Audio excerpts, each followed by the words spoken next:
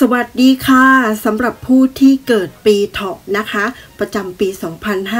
2567 ค่ะ ประจำเดือนมกราคมนะคะ ปี 2567 ค่ะ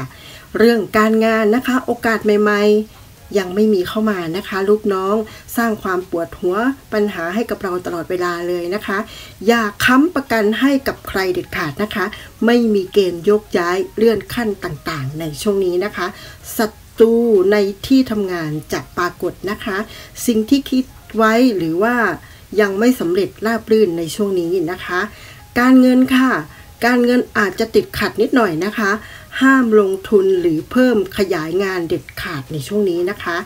รายได้หมุนไม่ทันรายจ่ายที่เยอะกว่าเดิมนะคะ ความรักค่ะคนที่มีคู่นะคะ พยายามใจเย็นๆมากนะคะ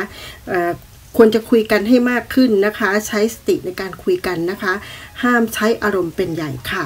คนมีลูกนะคะ ระวังจะมีปากเสียงทะเลาะกันขั้นรุนแรงเลยนะคะ ส่วนคนโสดยังโสดค่ะ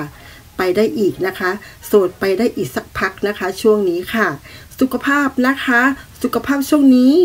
คนมีอายุอาจมีปัญหาเกี่ยวกับสมองและก็ความจำนั่นเองนะคะ ควรตรวจสุขภาพประจำปีด้วยค่ะ เสริมดวงแก้เคล็ดนะคะ ถวายบริจาคหนังสือสวดมนต์พิธีนะคะ